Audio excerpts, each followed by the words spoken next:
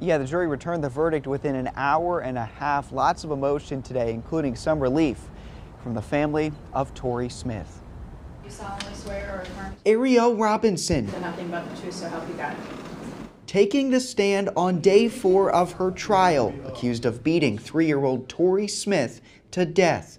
Tori died of multiple blunt force trauma. We had a good relationship. She was my mini me. She would talk like me, act like me. She wanted to go everywhere I went.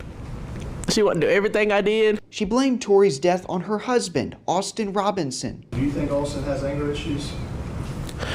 I think Austin has one of the scariest type of anger issues because he holds everything in and he doesn't let it out. And then when it does come out, it's too much because he bottles it up. Austin pleaded guilty to aiding and abetting homicide by child abuse and faces 10 to 20 years. Prosecutors say evidence shows it was Ariel and not Austin who beat Tori and countered with an Instagram post. This is a little Father's Day post you did for Austin, correct?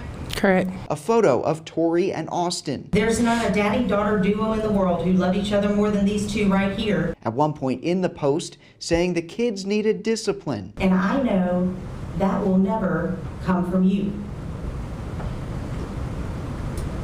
Happy Father's Day, babe.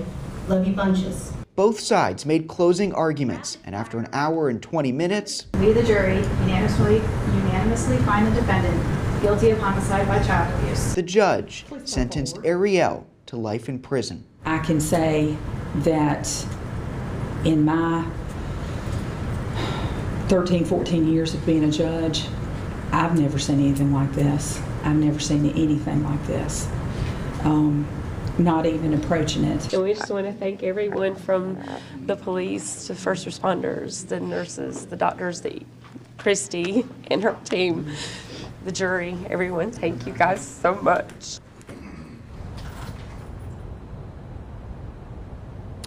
And that family spokesperson you heard from there said that the family of Tori Smith would also like to see the maximum punishment here for Austin Robinson. It is not yet clear when he will be sentenced.